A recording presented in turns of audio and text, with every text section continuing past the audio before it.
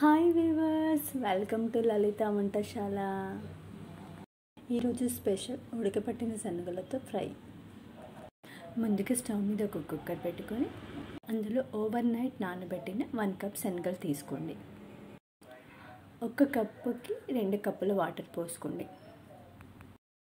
ఇప్పుడు ఇందులో కొద్దిగా సాల్ట్ వేసుకొని కుక్కర్ మూత పెట్టేసేసి ఫైవ్ టు సిక్స్ విజిల్స్ వచ్చే వరకు కుక్ చేసుకోండి. ఇప్పుడు స్టవ్ మీద ఒక ప్యాన్ పెట్టుకొని అందులో వన్ టీ స్పూన్ ఆయిల్ వేసుకోండి. శనగలకి ఎక్కువ ఆయిల్ పట్టదండి. కొంచెం ఆయిల్ అయితే సరిపోతుంది. ఆయిల్ వేడయ్యాక అందులో వన్ టీ స్పూన్ ఆవాలు వేసుకోండి.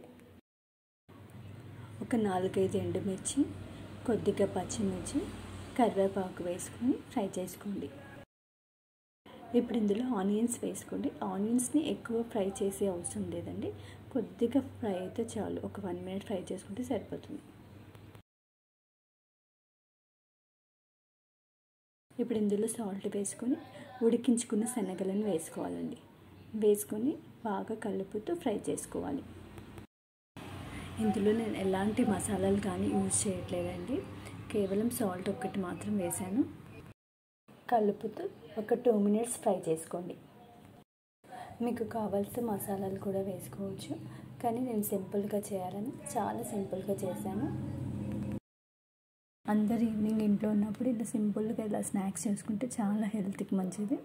ఎక్కువ ఆయిల్ యూజ్ చేయకుండా సింపుల్గా ఉంటుంది. వేడి వేడి శనగలు రెడీ మీరు కూడా మీ ఇంట్లో ఈ శనగలను తయారు చేసుకుని ఎలా వచ్చిందో కింద కామెంట్ బాక్స్లో తెలియజేయండి. మీకు ఈ వీడియో నచ్చినట్లయితే లైక్ షేర్ అండ్ సబ్స్క్రైబ్ చేయండి.